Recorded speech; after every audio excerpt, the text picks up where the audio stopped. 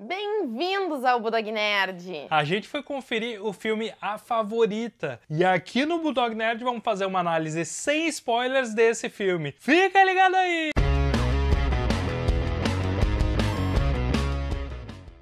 Na Inglaterra do século XVIII, o poder e a atenção da rainha Ana estão sendo disputados pela Sarah, que é a duquesa de Melbourne, e a criada recém-chegada Abigail. É, esse é um daqueles filmes que a gente realmente mergulha naquelas tramas ali da corte, da realeza. Então, aquele jogo de interesses entre a rainha, os duques, duquesas, o pessoal todo da corte ali. Esse é um daqueles filmes para quem gosta desse jogo de interesses, né? A gente tem aqui a rainha Ana, que é uma figura de total poder aqui. Só que ao mesmo mesmo tempo que ela tem todo esse poder, ela depende muito dos outros. E é aí que entra Sarah, que é a duquesa de Melbourne, né? Ela aproveita dessa dependência toda da rainha e ela começa a tomar um pouco desse poder para ela, né? Manipulando, convencendo a rainha. E assim, ela toma decisões que envolvem inclusive guerra, né? É uma relação aqui que já perdura há alguns anos, então como é que funciona essa relação? A rainha manipula a Sarah, cedendo poder para ela, né? Mas em troca a Sarah tem que fazer tudo que a rainha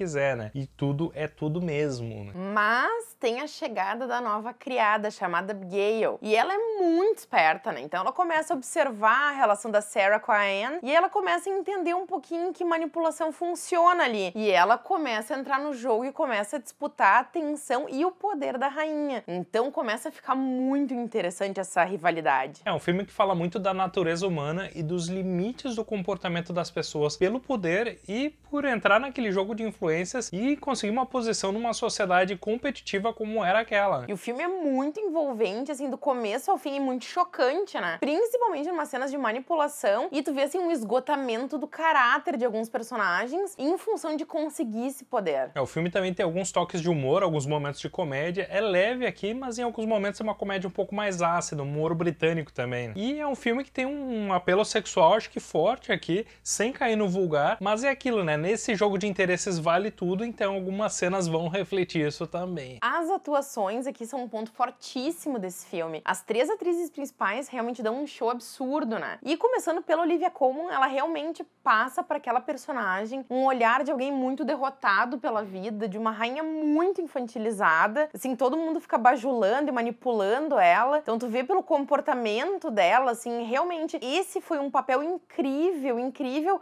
que poderia em mãos erradas ter dado muito errado. Hum. Porque essa atriz consegue passar uma força pra uma personagem muito fraca. Então, assim, ó, excepcional. Ela acaba nos trazendo uma personagem muito interessante e complexa aqui, né? E outro ponto alto aqui, a Emma Stone também, ela tá muito bem. Ela já tem um olhar bem expressivo aqui e a personagem também nos traz isso no olhar. A gente vê a reação dela a cada cena, a cada elemento que ela vai absorvendo e aprendendo ali ao longo da jornada dela. Então isso ela expressa demais no olhar. E ela que é do Arizona, faz um sotaque britânico aqui que tá muito muito bem também, né? E a Rachel Weisz também consegue dar uma imponência, uma força aqui pra Sarah. Então, realmente, todas as atrizes estão assim, ó, de parabéns. E o diretor grego aqui, o Yorgos Lanthimos, ele realmente usa uma lente aberta, assim, para valorizar bastante o cenário, mostrar com um ângulo aberto, assim, o cenário e as locações que são muito bonitas aqui, né? E um foco bem forte aqui nos olhares e nas reações das personagens também. E os ambientes daquele castelo extremamente escuros, assim. Então, tu realmente sente que aquelas personagens estão numa prisão mesmo, daquela situação toda que elas vivem. E a luz que aparece do lado de fora, adentrando as janelas, assim, acho que dá um ar assim de existe uma possibilidade do lado de fora desse castelo, assim. Então realmente ficou tudo muito bem feito. É um contraste muito forte e essa fotografia ficou muito interessante. Né? O figurino, as locações estão incríveis, tá tudo muito convincente. A gente enxerga aqui a Inglaterra do século XVIII, né? E a trilha sonora também tá muito boa. E não é por nada que esse filme foi indicado a melhor filme do Oscar. Ele realmente é muito bom, então é merecidíssima essa indicação. É, para quem curte filmes sobre essa época, filmes épicos e com esse jogo de poderes, esse jogo jogo aqui de interesses na corte vai gostar desse filme aqui. Então a nossa nota pro filme A Favorita é 5. Lembrando que as nossas notas vão de 1 a 5 e seguem os nossos critérios de avaliação. Então se tu concorda, não concorda, comenta aqui embaixo, dá um like e te inscreve no canal para ficar por dentro dos próximos vídeos.